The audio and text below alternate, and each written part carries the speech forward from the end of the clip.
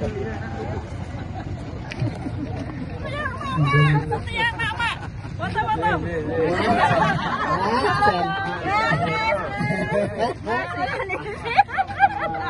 Alhamdulillah. con cơ vào ba ba cái bên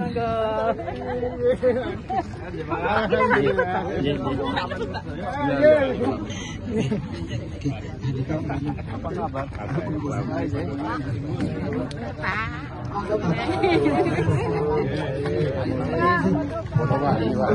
những video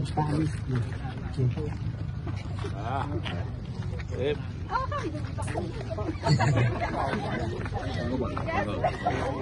Monggo aturan lenda akan saya untuk bil.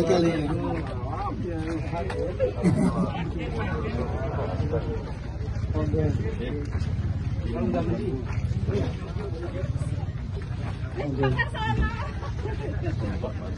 Monggo, monggo.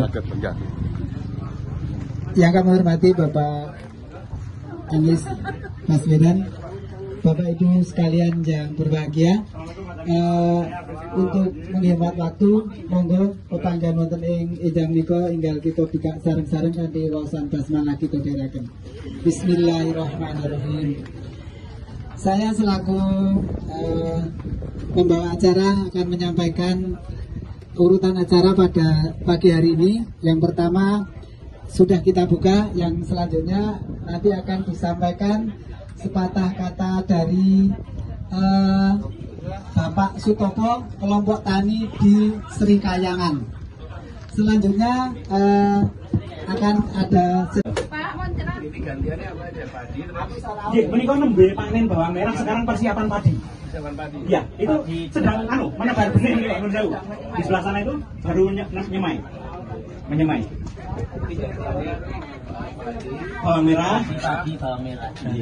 kadang-kadang ada sayurnya ya untuk dia ada kacang munten kacang terus menopo Eh, cabai. Iya, iya.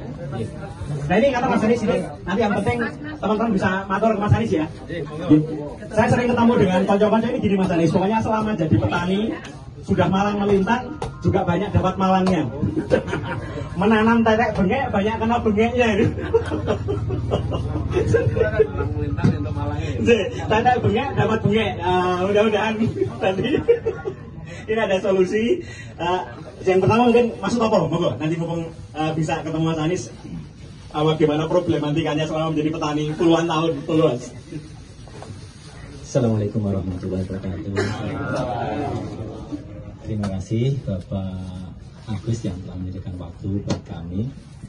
Eh, pada siang hari ini luar biasa sekali, luar biasa sekali karena kehadiran Bapak Anies Gula Sikayangan.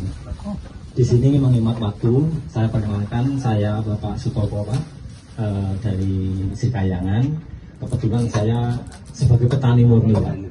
Jadi kehidupan saya murni dari petani.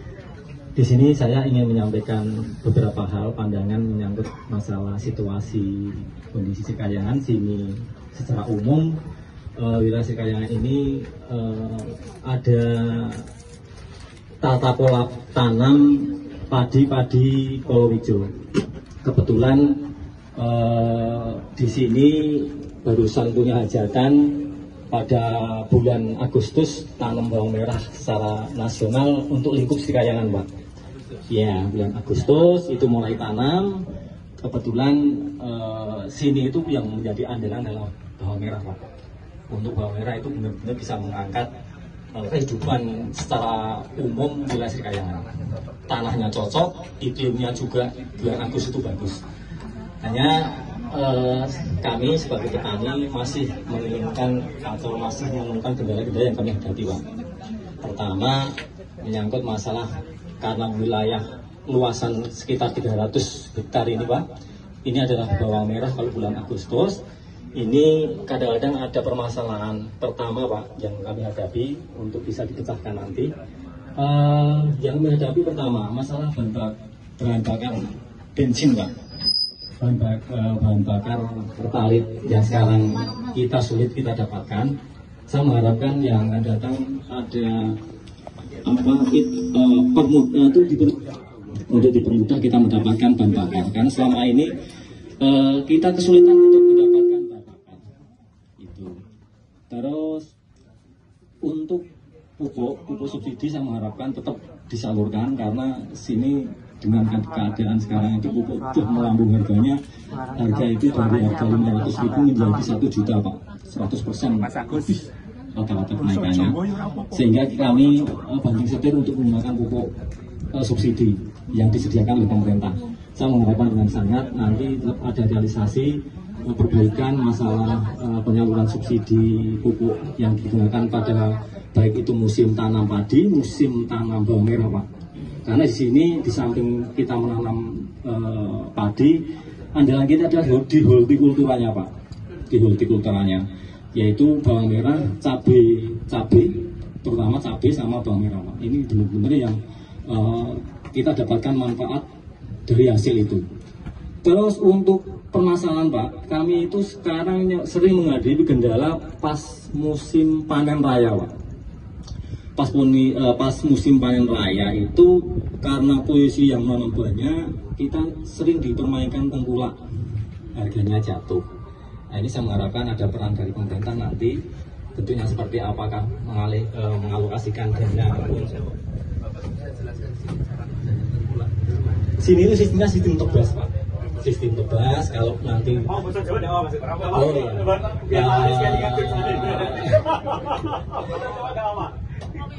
Ya. Nanti campur-campur ya karena uh, itu biasanya Pak bawang merah itu umurnya 50 sampai 65 hari. Setelah panen uh, karena sini itu sudah secara umum sudah dimengerti dari beberapa daerah masalah tengkulak yang datang ke sini itu nanti sini sistemnya penebas ditebas. Per meternya Pak. Iya per meternya. Iya, hitung-hitungannya per meter nanti Pak. Ketemunya seribu meter sekian per meternya ketemu sekian ribu, nanti dikalikan ketemunya dari tebasan hitungannya ditebas.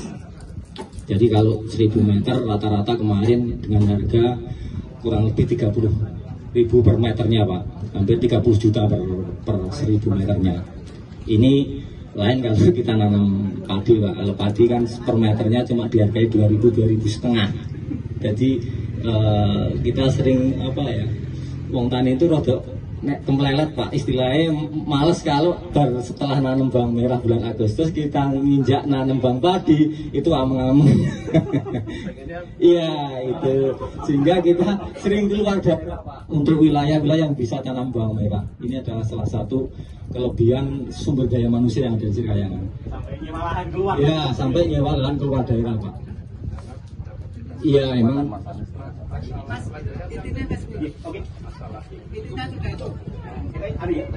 Oh, kan.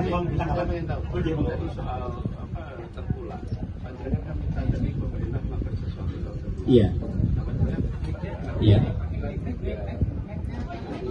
Iya, iya, hitungannya nanti bahasan kan. Kalau kita nggak ada masalah sih nggak ada masalah ya pak. Masalahnya dengan tengkulaknya apa? Nah, sering kita itu diakali pak sama tengkulak. Betul. Contoh ada kasus kemarin banjir. Karena pemerintah daerah itu tidak tahu masalah oh, ngasih ke wong tani itu mau mau dipanen mau ditebas ke mau dibawa pulang nggak mau tahu lah. Akhirnya uh, harga sing ada kesepakatan itu nggak jadi bang diturunkan harganya itu wes beberapa kali ada uh, seperti harapan saya nanti kalau pemerintah itu ikut campur tangan masalah uh, pemasaran ini kita ambil alih seandainya ya dari dari pemerintah daerah kabupaten lah ada dana untuk membeli bawang merah itu kan nanti minimal dari petani itu tenang pak. Oke maksud ya, ya, ya, Oke. Bapak tadi ditanggapi Oh sebenarnya justru gini. Uh, Matur Pak yang jauh, asmo apa Pak? Pak Sutopo. Pak Sutopo terus. Uh, terima kasih tadi sudah disampaikan ya. Jadi saya makanya pengen ingin tahu bagaimana masalah itu sehingga kita nanti cari jalan keluarnya cocok. Jadi problem utamanya itu kalau disebutkan tengkulak. Iya. Tapi panjenengan perlu lebih detail. Katus nopo masalah ini pun. Uh, saya mengharapkan dari pemerintah seperti kalau pembelian gabah pak, oh. kita kan ada bulog yang ngurusi masalah uh, gabah waktu panen raya ada yang nampung. Harapan saya seperti itu Pak, Oh, seperti gitu. di Brebes gitu. Oke, ya, ya. Iya, Bantul juga kayak Bantul gitu, ya, Brebes gitu. Sini belum kayaknya Pak. Saya mengharapkan Oh, seperti ya. itu. Ya. Anu, Bang Kaum, tulis ini Bang Kaum, gantian ada yang lain mau diaturkan? Nah, punir terus kelapa pak itu biasa seribu sekarang cuma 600 pak terus dulu pada tahun sekitar 70-an berapa itu ada program dari pemerintah itu penghijauan pak setelah kita itu nanam mahoni, jati dan sengon pas pasca panen itu tidak laku pak sampai sekarang itu kayu itu namanya ada terus sengon pak yang sengon itu Ya, meter 80 sampai 100 itu paling paling laku itu 100 ribu pak. Padahal waktunya nunggu itu sekitar 12 tahun pak. Nah, itu terus kesusahan itu petani begitu pak. Kalau mungkin orang yang di sana tidak tahu yang di belakang, tapi kalau kita yang di belakang itu betul-betul merasakan pak kalau ada biaya turun itu pak. Terima kasih pak Isyad ya pak. Matur nuwun Pak ada tanggapan Mas Andi silakan.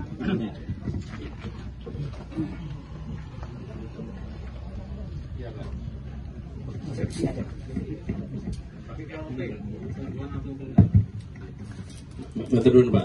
Dari cerita ini kan semua intinya adalah harga jual yang terlalu murah. Ya toh? Sementara di nanti di hilirnya sana harga jualnya tinggi. Hilangnya di jalan tuh.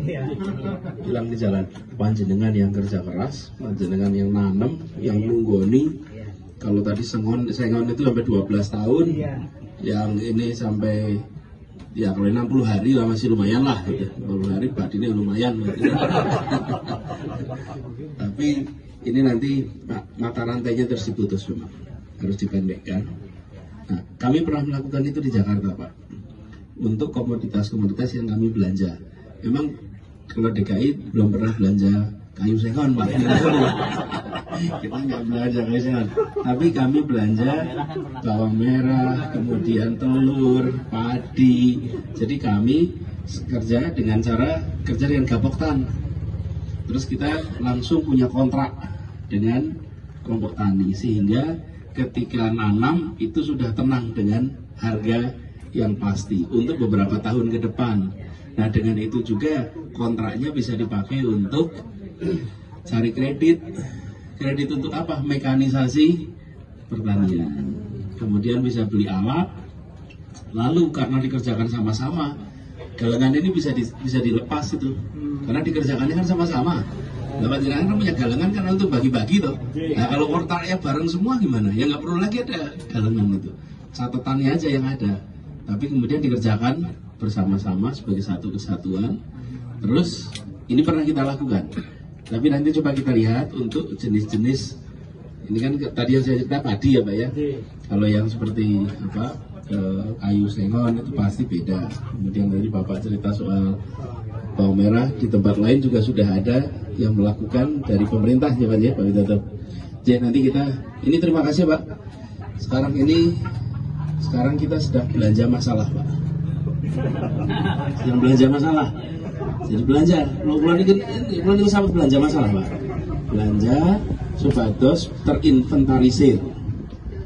Setelah terinventarisir, lajeng mengke kita sedaya diskusi langkah nopo ingkang paling tepat supados setiap masalah niku wonten solusi ingkang spesifik wonten solusi satu untuk semua mah nah itu nanti nggak bisa itu jenisnya beda-beda jadi itu terima kasih dan matur nuwun tegani pun pak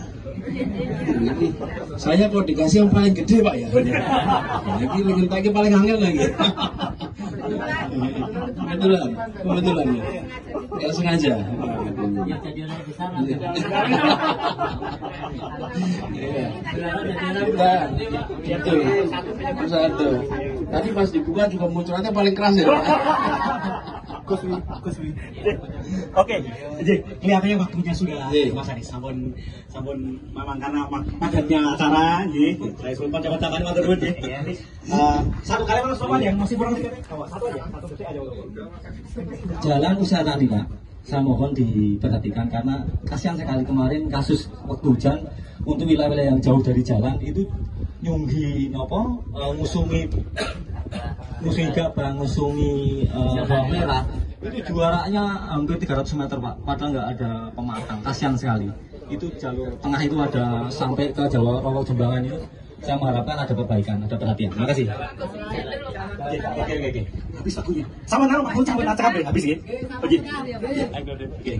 Oke, asal aja aja Bu. Sebentar nih Pak, cari masalah ini gawe masalah ini tadi. Nah ini belanja masalah, lagi belanja ngumpulkan problem masalah-masalah apa untuk dicarikan nanti jalan keluarnya. Jadi nah ini mohon maaf ya Pak Punten karena waktunya juga apa mepet nih, terus dalam beri pamit rumin. Kamar kisah penduk, Pak. ini sudah nih. Jadi terima kasih. Insya Allah nanti jumpa lagi. Tapi eh, kalau boleh, Mas, ini eh, kalau boleh ya, Mas, tolong dibantu pun catat, Mas, Mas Agus Wi.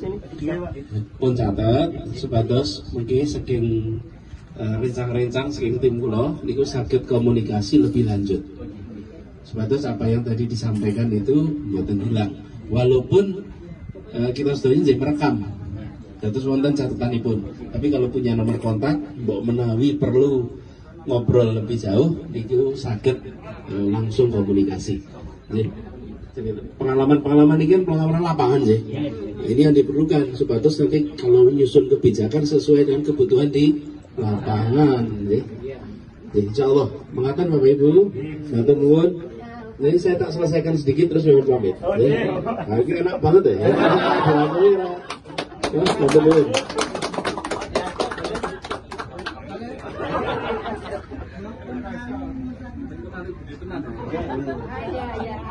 Sekali lagi kita berikan aplaus untuk beliau Mas Anies Baswedan. Ya, nggih.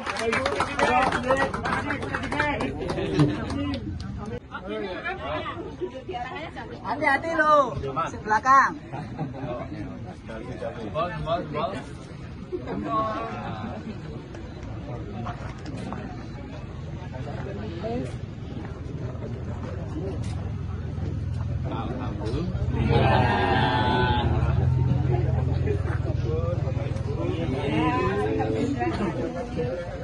Di belakang.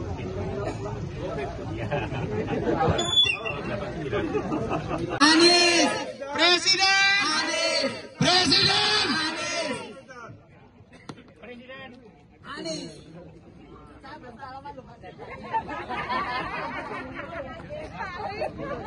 Aku belum salaman dari tadi. Aku nggak sembuh. Ya ya ya foto foto.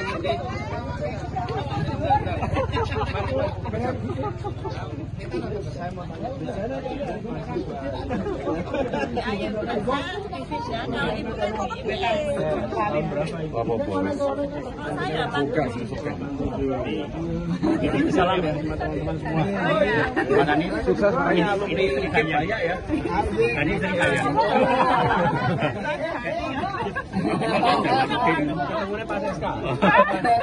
Intra. Intra. Intra. Ini selama gimana seger nggak pak? Seger. Wah, enak bener ikannya. Seger sekali. Jadi masih satu utuh nanti ya Diasto. Utuh. Selalu ingat Sri Kayangan Mas Anies ya. Ada pernah mampir di Bulak Sri Kayangan. Matur nuwun semoga berkah.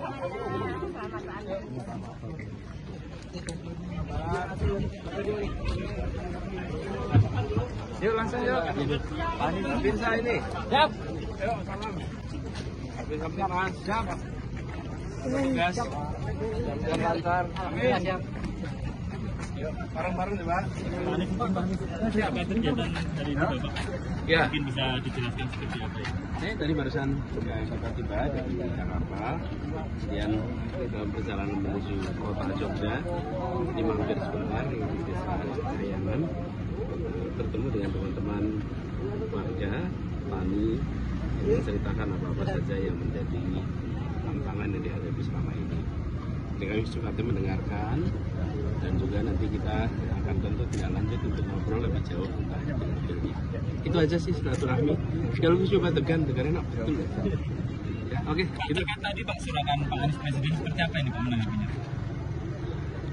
Ya itu kan selalu apa ya amanah ya mas. Kami pandang itu sebagai kepercayaan, sebagai amanah, insya Allah dipegang dengan sebaik-baiknya. Kandidat Bapak? Kandidat seperti apa Pak? Yang Itu, masih panjang mas. Ya. Pak, Pak, Pak terkait, terkait itu dengan PDIP Pak yang kemarin ada undang balik